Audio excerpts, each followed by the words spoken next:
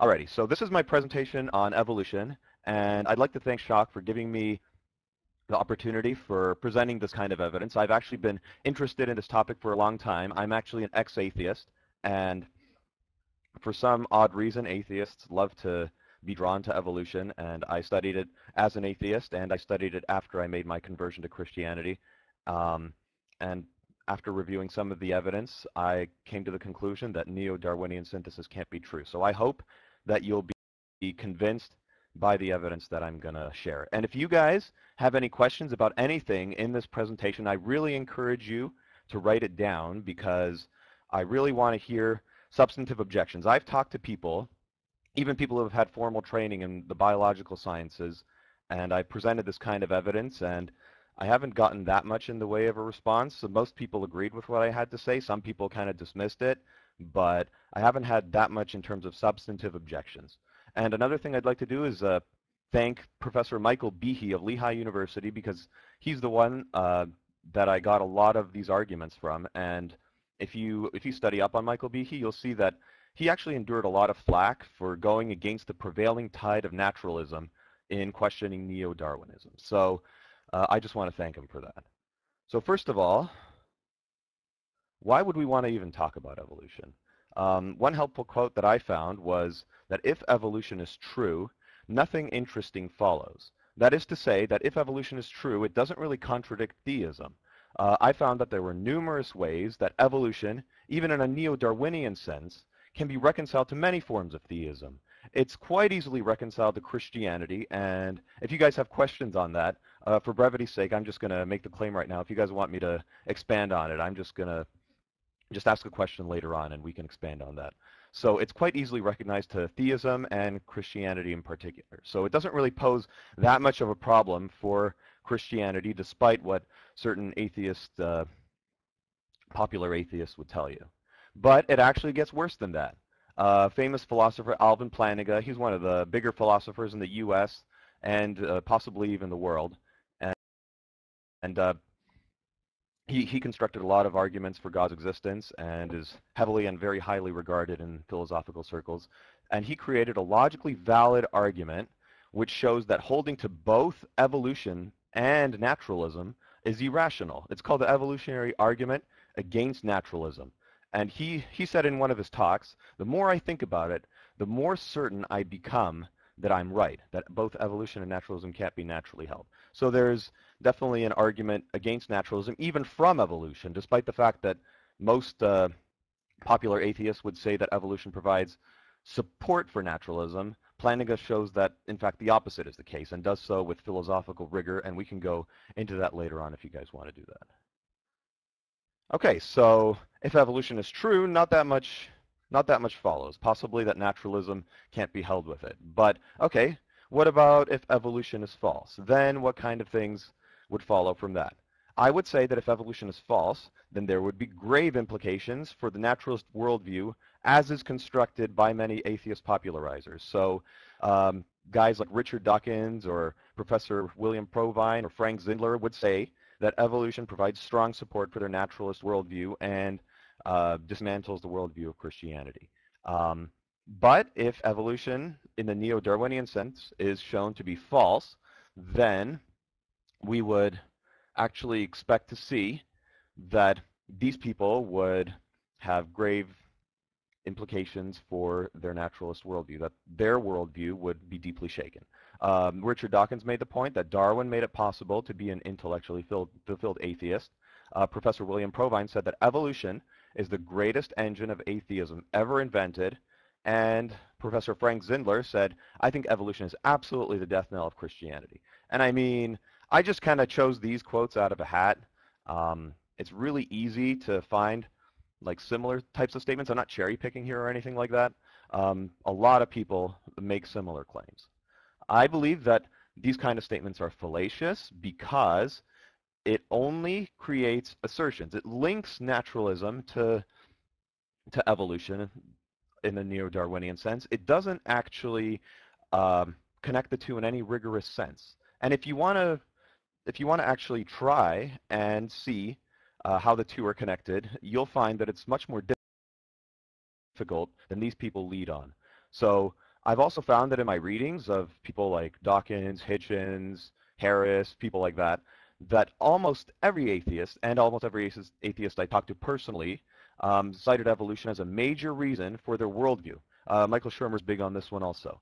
Um, it always puzzled me. Why would you connect evolution with atheism any more than with anything else? Because if it's just a scientific proposition of how things uh, mutated and then later were selected for, why would you, um, and if it's just a scientific statement, why would it be connected connected to atheism any more than, say, fluid mechanics, electron flow, or anything else. How evolution is different, I have yet to see any kind of actual argument spelled out. I've, I've seen a lot of assertions going around, but that's about it.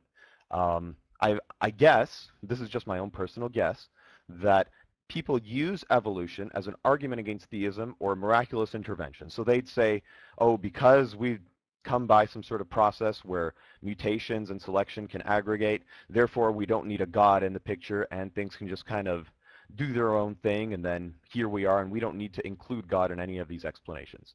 Um, I mean, that's, that's one form of explanation, but a simpler one, uh, at least according to me, would be that matter behaves according to certain rules and it would aggregate to create us.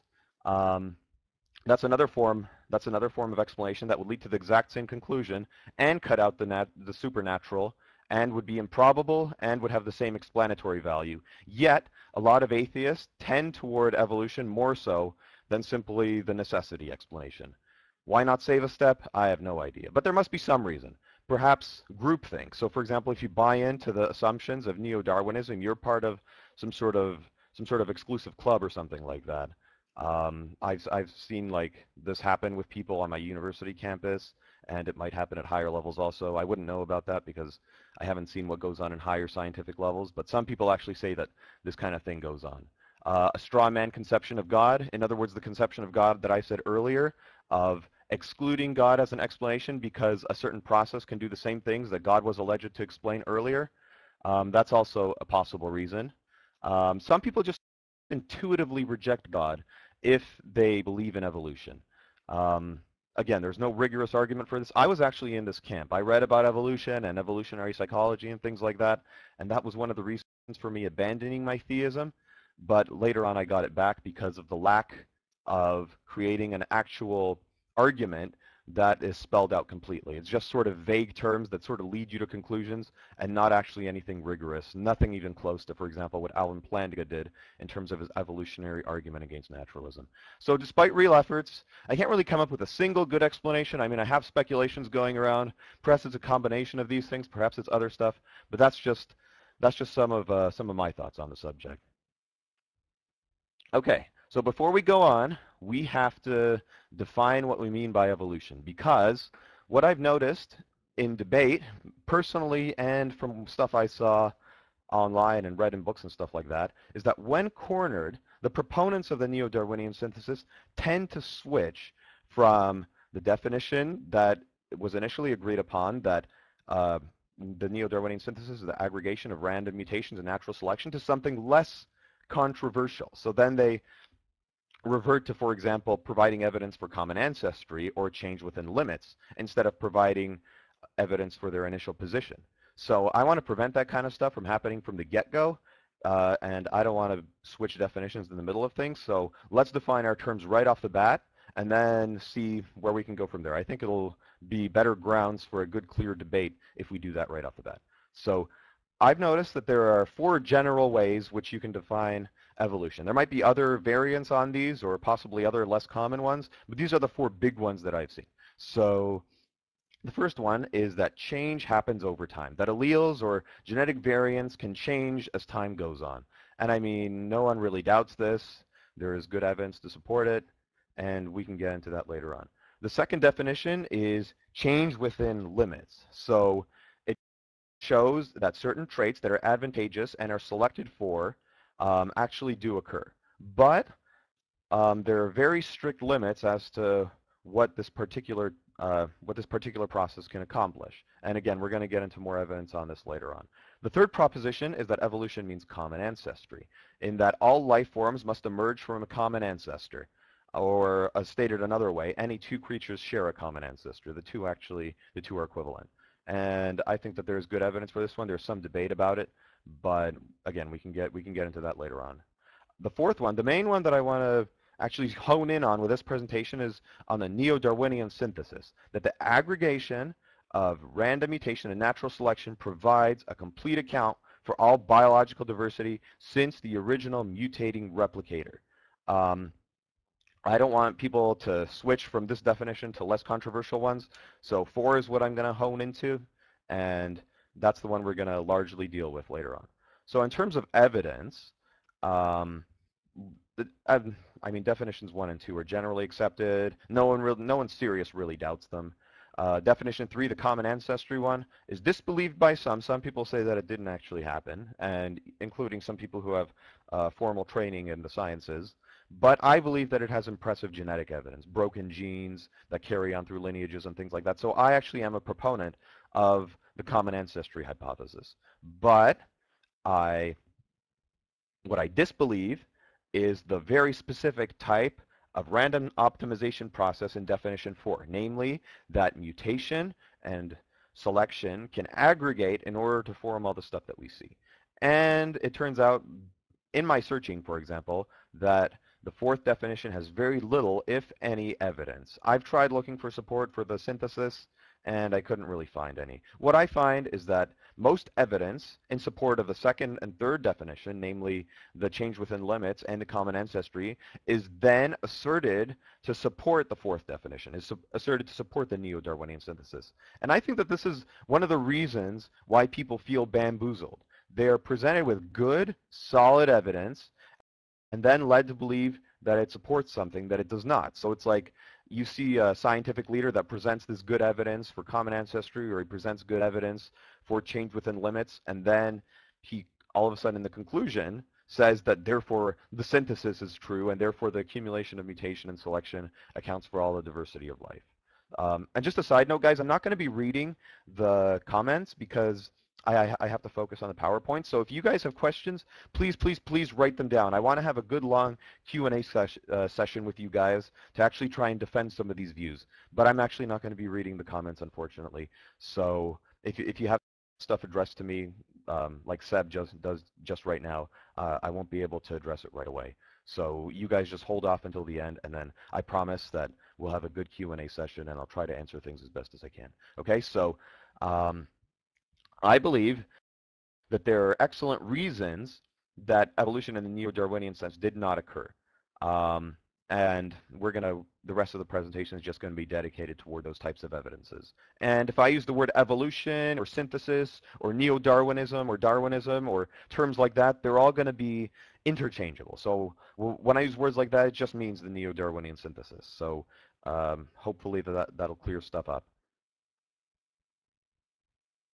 Okay, so before we get to the evidences against synthesis, we have to be fair to the other side, and we have to say that it can do some things. We can't just go out flatly and say, well, it can't do anything. There are some things that it can do. Uh, there are some specific results of the neo-Darwinian mechanism that are able to be accomplished. For example, if a single point mutation or if you have a large population and maybe two or three point mutations in a very in a for example, a bacterial population or something like malaria, um, you might be able to confer a selective advantage by seeking out the advantages associated with these point mutations or like two or three of these mutations. Examples of such occurrences would be, for example, frozen fish of Antarctica, where you have like one or two mutations and then the proteins coagulate differently and therefore form a gel structure and then the fish can freeze and then thaw back out and then they come back unharmed. That's, that's a good example of neo-Darwinian synthesis. Same thing with rat poison. The rats like have a point mutation and then the protein changed in one of their proteins changed in structure very slightly so that the poison doesn't become effective. I think it's to do with blood clotting, um, but don't quote me on that one. That, that's just from memory. But um, that's that's another mutation that confers um, a selection in the neo-Darwinian sense. Sickle cell mutation, that's that's a fairly common one. A point mutation changes the hemoglobin structure so that the blood cells become sickle-shaped instead of actual their actual donut shape, and this confers um, an advantage against malaria, antibiotic resistance, etc. These are the kind of instances that you hear about that prove quote unquote evolution. So people people use these kinds of things and say, oh, therefore evolution in our entire sense is true when it's only true in a very limited sense. So I would warn everyone from this point forward to be very careful to make sure that the evidence supports the conclusion because the standard trick, again, and I can't stress this enough, is to perform the sleight of hand and show that neo-Darwinism, that because it can do some things, therefore people insist that it can explain all of life's diversity. And I don't think that that follows at all. Okay, so let's go into some of the evidences against synthesis for providing an account for all the diversity of life. Michael Behe coined a definition for irreducible complexity that I think uh, I think provides a good challenge to the neo-Darwinian paradigm.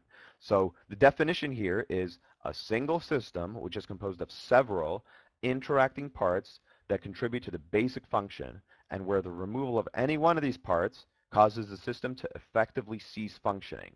So in other words, you, you have a structure like the bacterial flagellum, which I have a picture of here, that consists of several parts. And if you remove any of the labeled components here, you'll actually find out that the thing would just either not move or sort of flap around uselessly and not really fulfill any function.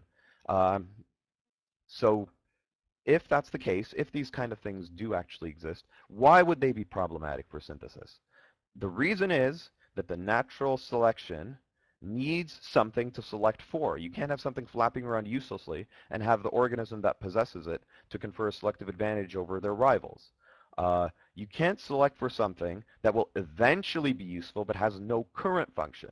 A highly complex accumulation of mutations must already exist for a function of a complex system to be selected for.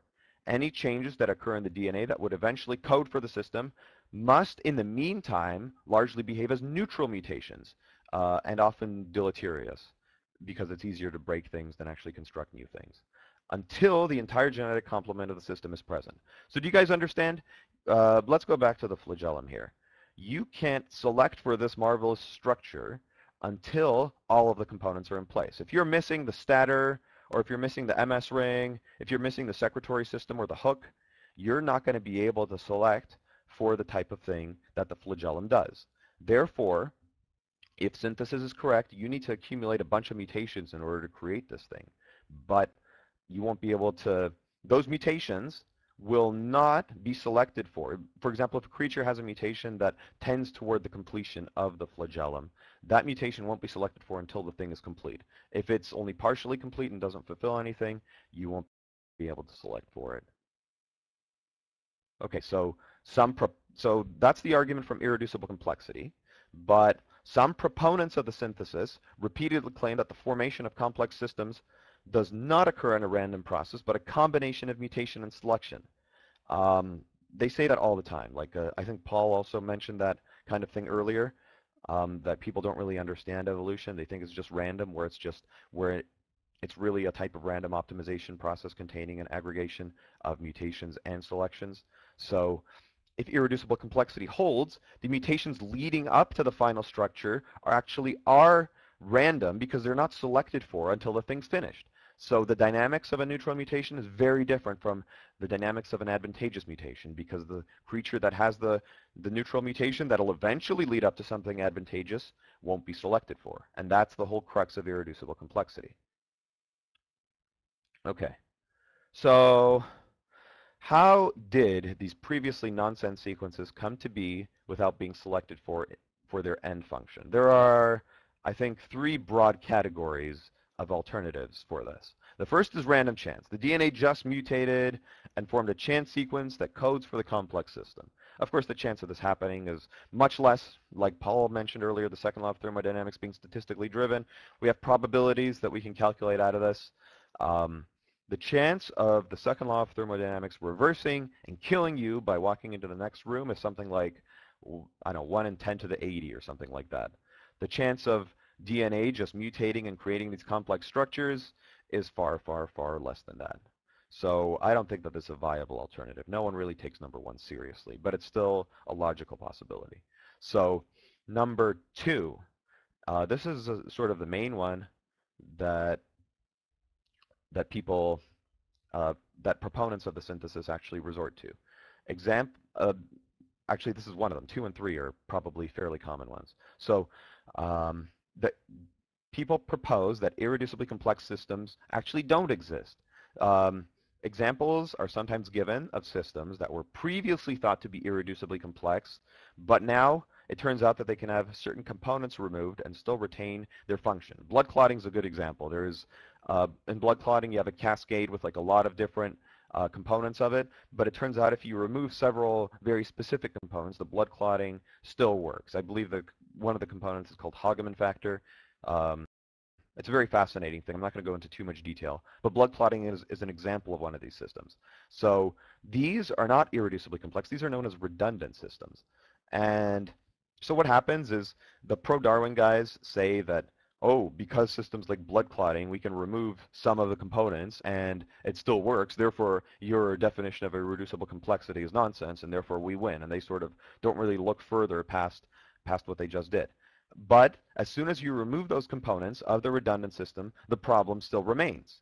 The problem is that at, is that there exists a point in every redundant system where you can't remove any more of the components, and the system then becomes irreducibly complex. So in the blood clotting, if you remove those like two or three factors that in the cascade, all of a sudden you're left with an irreducibly complex core. So the problem's still there, staring you in the face once you remove uh, several of those factors. And then all the problems associated with neo-Darwinian synthesis still occur once you remove those other factors. So the pro-Darwin guys just remove the factors, then claim victory, but then don't look any further. So I don't think that's a very substantive objection. Okay, just got to take a drink. Hold on, guys. Okay, so another explanation, um, and this is common amongst proponents of the synthesis also, is that the components are selected for another function. Um, there's sort of a roundabout way that you can get an irreducibly complex system without having to encounter any of the problems of synthesis. You select for something else all along the way, and then you and then the end function is different from the intermediate functions. So you can build, for example, the bacterial flagellum uh, by first having it to be a protein pump, and then later on it's something else that sticks to sticks to surfaces, and then eventually it sort of builds up and becomes a bacterial flagellum. That's sort of one of the ways that's that the evolution of the flagellum was proposed. Um, two categories of this particular objection um, are proposed. One's proposed by Ken Miller, where he says the individual components of an irreducibly complex system evolved separately and for different functions, and then they sort of assembled into the final structure. And another uh, um, another way that this could have happened is proposed by Allen Orr, where he says that a simple system could turn into an irreducibly complex system via a series of duplications, additions, deletions in a biological pathway. So you start out with something simple, and then you add something, and then another pathway uh, joins in, and then something's deleted, and then after like a combination of these kinds of things, you wind up with something that's irreducibly complex. So let's see if these kinds of obje objections actually hold water, and see, and let's go deeper into their analysis. So on Ken Miller's point, the odds of forming a system of individual non-communicating components, remember these components evolved separately and then mysteriously got assembled together um, and then formed a novel function, are again vanishingly small. So it's, if, I mean these probabilities are so small they're again less than the second law of thermodynamics killing you. Um, other, bio other biologists concur that Ken Miller's point doesn't really hold that much water on account of these low probabilities. In fact, Allen Orr, the guy that proposes the, alter the other alternative to um, to the irreducible complexity problem, um, actually agrees that Ken Miller's point doesn't really hold water. May occur in certain rare instances, but in a general case doesn't come close to explaining irreducibly complex systems. So um, Allen Orr's point that you start off with a simple structure and then things sort of get added, things get deleted, changed around in order to create a much more complicated structure that is irreducibly complex through a series, through a combination of insertions, deletions, additions, things like that. Um, that doesn't, I don't think it holds that much water either because no step-by-step -step procedure is actually given for the real examples of, of, irreducible complexity and associated with real calculations and probabilities. The only thing that's said is, okay, you have a certain certain simple structure. For example, in the flagellum, you have the protein pump, then all of a sudden the proteins from, I don't know, the C ring mysteriously form, and then and then from the stator mysteriously appear or spring forth or something, and then the tail grows out or something. Um, there's no actual biological pathway given. It just it just uses hypotheticals and doesn't give the probabilities. I mean, if you look really closely at these biological structures, you'll notice they're comprised of very specific and very intricate protein structures. Um, and I think that Allen's or, Allen Orr's point doesn't really um, like take into account the complexity of these individual protein parts. And also there's a direct line of evidence against objections 2 and 3. If you remember objections 2 and 3, 2 is that irreducibly complex systems do not exist, and 3 is that components are selected for another function. A direct line of evidence against it would be that you do not see partially formed irreducibly complex structures in the fossil record or in nature. Nobody sees five-sixths of a flagellum serving some other purpose, nor do you see a tendency toward the self-assembly of such structures from independent parts. They come fully formed and functional in the geologic instance, where many of them do not even have obvious precursors. So we all of a sudden see bacteria with a flagellum, and we don't see obvious precursors to it. We see the protein pump, in fact, probably come later on after the flagellum.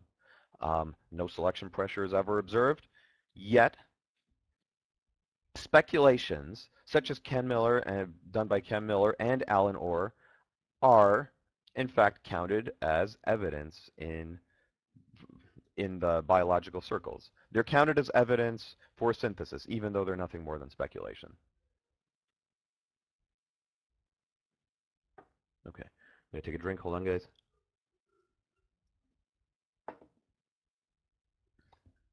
Okay, so why would we allow speculations for synthesis and not other scientific theories?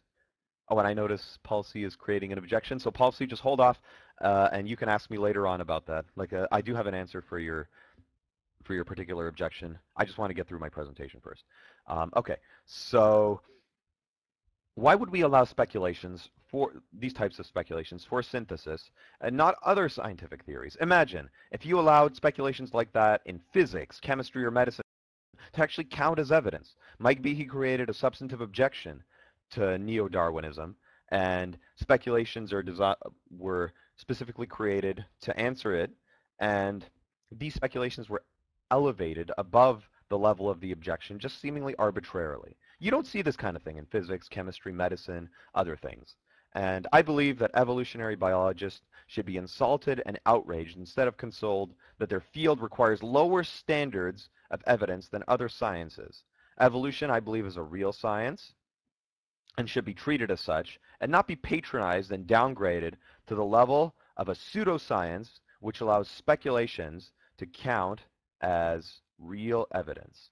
So in areas like physics, you actually have to have evidence, you have to present data, and in this, in uh, neo-Darwinism, speculations are counted as such. I don't think that's I don't think that's the way to go. I, the analogy I like to use is that you can imagine a group of school children doing a science project separated into groups. Both groups have to have a hypothesis and they have to explain something, but one group has to go out and do the experiments and gather data, and the other group can simply guess as, as to what's going on.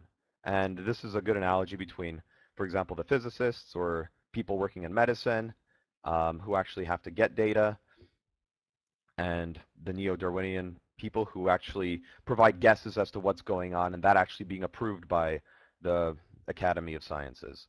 Um, you'll see that the Academy of Sciences actually endorses a lot of books with these types of guesses and with very little evidence to back them up.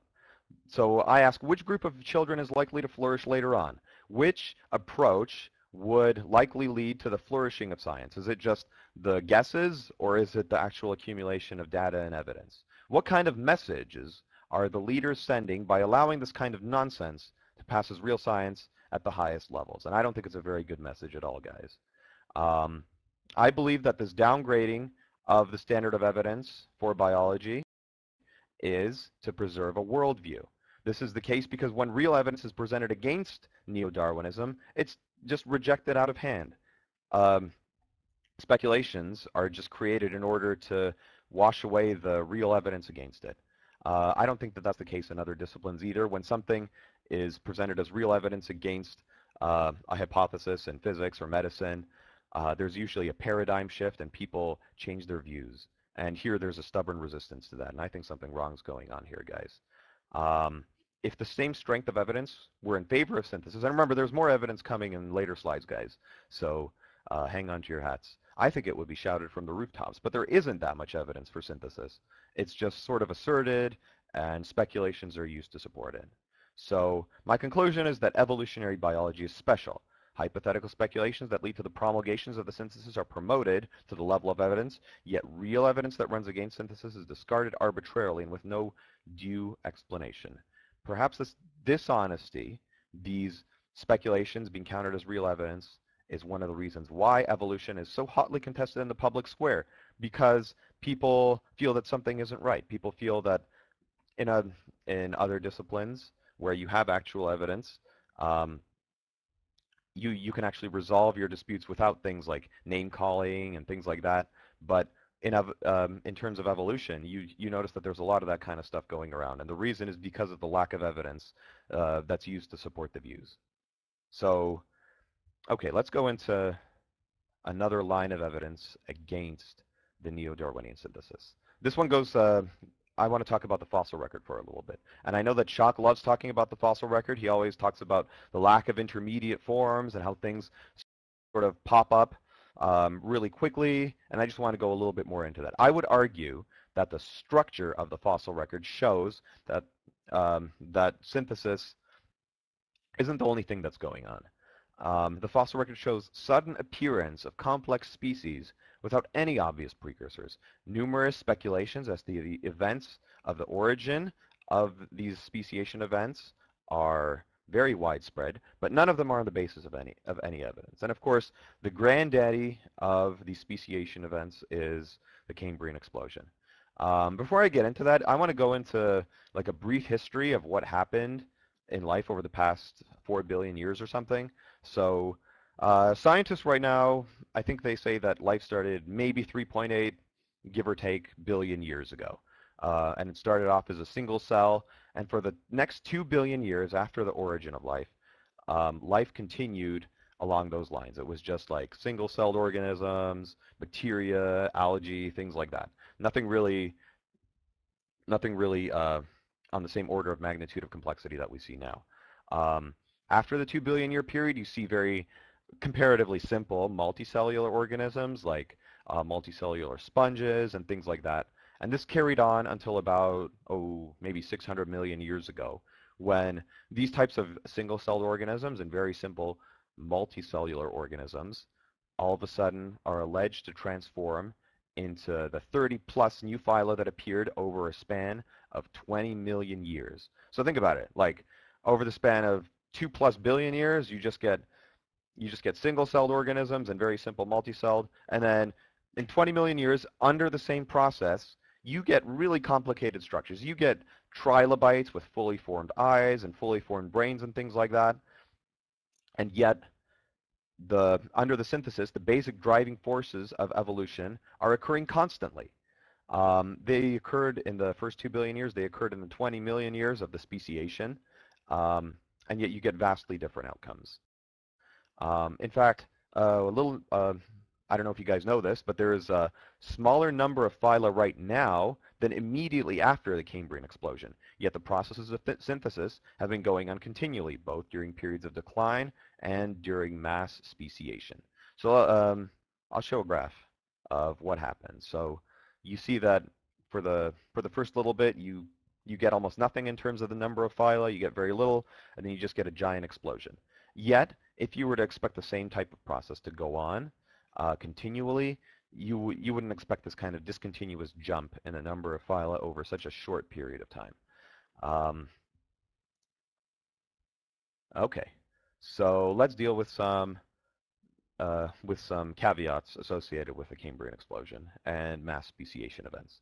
So when opponents to the synthesis recur to lack of intermediates, like Shock, for example, talks about that, they often refer to the structure of the fossil record. It's a big problem because there's no sufficient reason why species would emerge suddenly without precursors and simultaneously with other species. So um, you have you have multiple species um, growing in complexity at the same time um, as as other species, whereas for the billions of years before that, you've had almost nothing in the way of that, in in the way of creating new phyla.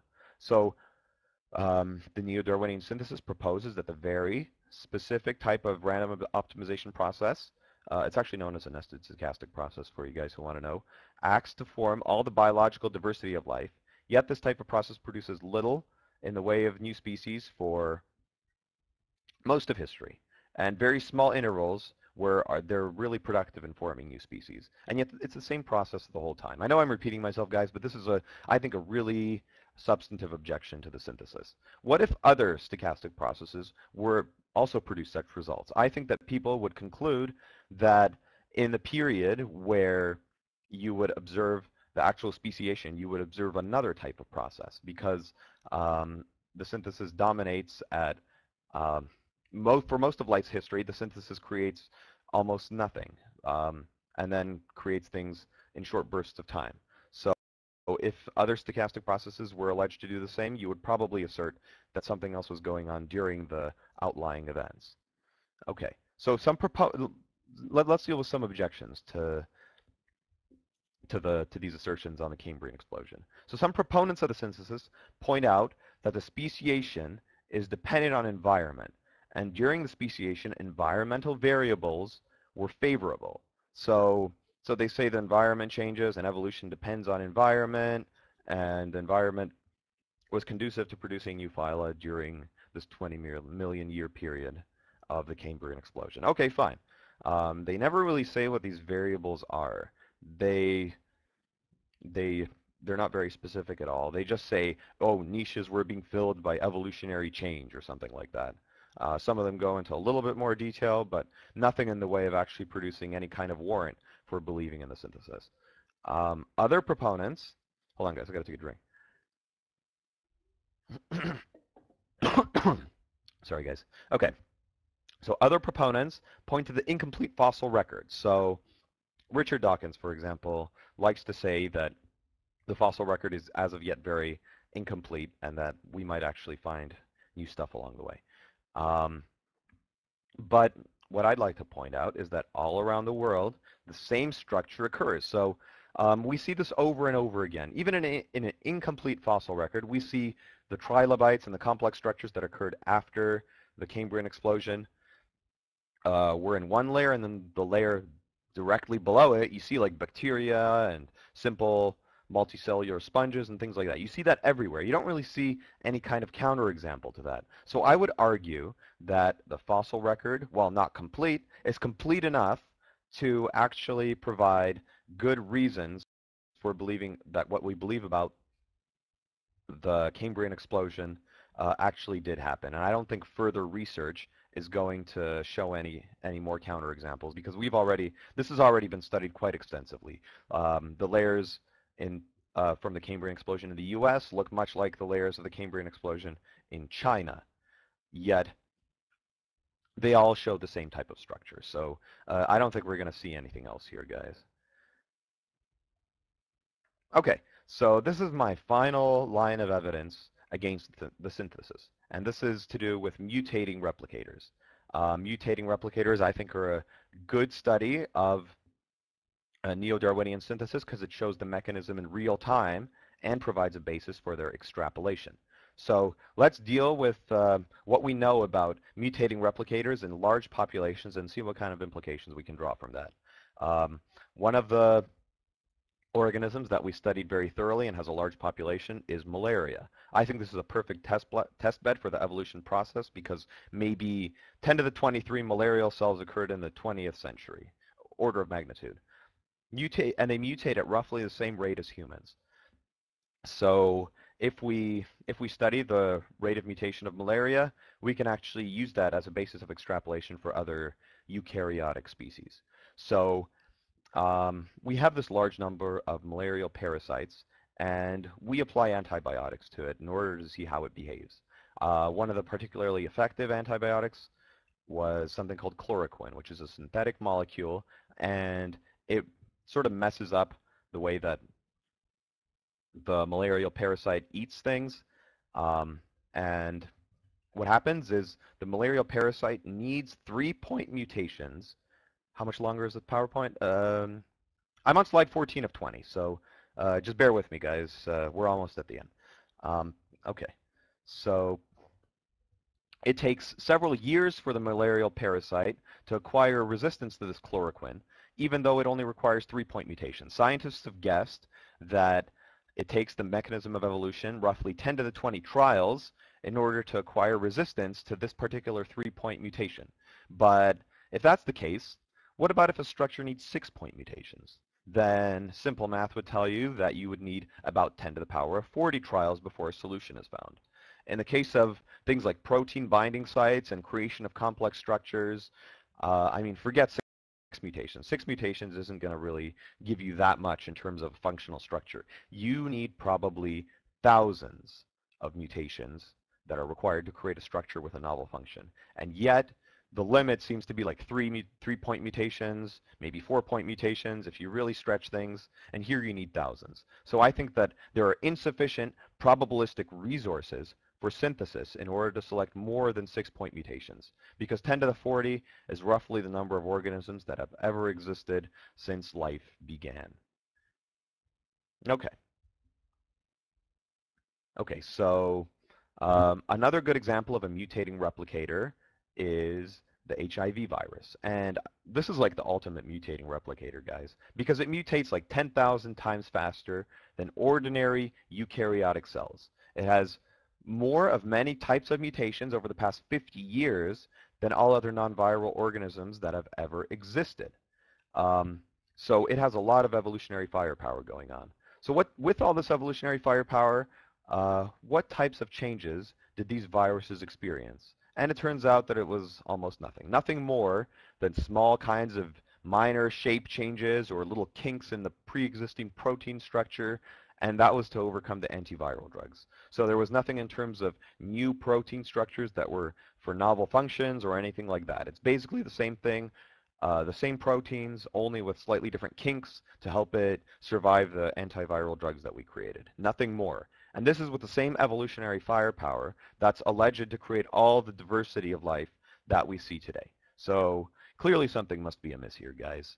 Um, on the other hand, the very same processes with the number of mutations supposedly responsible for all the genetic diversity and all the complex structures um, in all non-viral organisms also took place. So we couldn't really ask for a better test of the synthesis here because it shows that the synthesis mechanism in real time um, and under, under the same type of firepower as was responsible for all other non-viral species, um, you have a direct comparison of, of the two. Um, if this doesn't really count as evidence against synthesis, perhaps nothing can. Um, it might even, like if, if people don't regard this as evidence against synthesis, uh, perhaps it's not even amenable to the scientific method because I don't really know how much more you can possibly ask for in terms of evidence. So,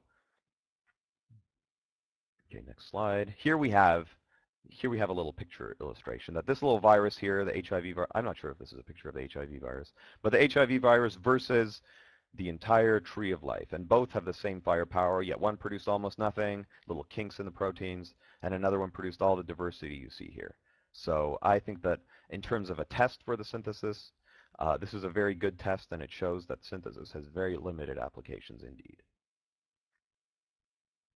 Okay, so the final study of the mutating replicator is the Lenski experiments. These are probably the most extensive experiments regarding evolution in a controlled environment because there was something like 50,000 generations of E. coli that were put in medium and then made to compete for it. So what was the result of this very extensive experiment? Were there any new structures, novel features, anything like that? It turns out there wasn't. The bacteria that survived and moved on showed signs of degrading with time. What they did is they ejected features that were part of their initial machinery in order to try and replicate faster and outcompete their component and acquire more medium than the surrounding bacteria. So uh, I think several implications can be drawn from this particular uh, experiment. At least you would have to acknowledge that structures taking up resources are weeded out fairly quickly in geological time.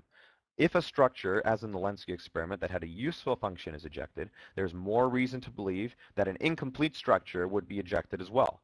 Therefore, not allowing a breeding ground for the incomplete irreducibly complex or redundant systems that don't quite work yet, but eventually will. I mean, think about it. If something that actually does work right now is ejected by this particular mechanism, how much more would uh, would there be a pressure to eject an incomplete structure that doesn't quite work yet, but it's on its way to, say, becoming a flagellum or anything else? I think that the pressure is much greater for the incomplete structure. Um, and I think that you can draw something else from this experiment also. It shows that even in the most favorable conditions, I mean, these bacteria were pampered. They got all the medium that they wanted for their generation time. Um, that even in favorable conditions, the synthesis is ultimately a destructive process. So, and it's not a creative one, and uh, this just provides evidence for that. Okay. So let's try and draw some conclusions from this presentation and, and see if we can actually uh, come up with some agreements. So um, I think that there is good reason, if you go back to the definitions of evolution, I think that there's good reasons to believe that change happens over time, and I think that common ancestry is true, even though some other people don't. But I think that there is no reason to believe that the neo-Darwinian synthesis is true. I haven't seen any positive evidence for it. In fact, we see in real time when the mechanism is demonstrated that it doesn't do the kind of things that would lead to all the diversity of life. So I recommend that people go where the evidence leads and not where presuppositions take you. So if you go by the positive evidence of neo-Darwinian synthesis, you will arrive at a very limited but important scope of operation, I would say. Neo-Darwinian synthesis is used in, for example, antibiotic resistance or rat poison resistance, sickle cell mutation. These are the kind of things it can do, and studying these things is useful. But I think that extrapolating um, for it to account for all of life's diversity is very unreasonable for the reasons I've just outlined. Um, I've also tried scouring the literature and asking people who are knowledgeable on the subject um, what the objections to this type of evidence are. And we might actually see some more objections in the Q&A, and I hope we do. Um, maybe I haven't made myself clear in some instances or stuff like that, so let's weed out some of the some of the inconsistencies. But from what I've read, the objections aren't very substantive. Many detractors use a sleight of hand or a straw man arguments or other debating tactics and are unwilling to engage the issue directly. They create hypotheticals. They don't really deal with the low probabilities at all. They just create sort of objections that are very speculative and then still are promoted to the level of evidence. And I think that this strongly indicates that this type of evidence and other evidence like it actually does carry weight. Why else would they resort to straw men or sleight of hand or debating tactics if they can actually answer this evidence head on, and I don't think they can. And so this this actually shows that they're probably that they're probably either afraid of this evidence or that they just can't answer it and don't want to embarrass themselves, so they use these debating tactics. So, okay, I just want to conclude by making an appeal to the other side, to the pro-Darwin guys, that from personal experience, one doesn't understand something until they look at both sides of an issue and are able to state the opposition's arguments correctly and answer their best arguments. If the opposition if the opposition's arguments are strong and unanswerable, then maybe it could be that a position change is required. Uh, I'm not saying that you guys should change your position. I'm saying take the evidence seriously and look at the arguments as they're formed and try to see if you can come up with substantive objections to it. Um, I know people that have tried actually. My sister works in the biochem industry and she knows a PhD molecular biologist that started out as an atheist and on account of stuff like this, she actually um, changed her mind and now believes in believes that the synthesis can't really explain um, all of life's diversity. So now I want to thank you guys for listening to a long lecture. Um, I want to quote Professor Peter Kreeft here. I thank you for sitting through a long lecture, which was your purgatory. Now you can get to the heaven of asking questions. And I just want to also add a footnote saying that a really good resource for this kind of stuff is Michael Behe's Darwin's Black Box and Edge of Evolution.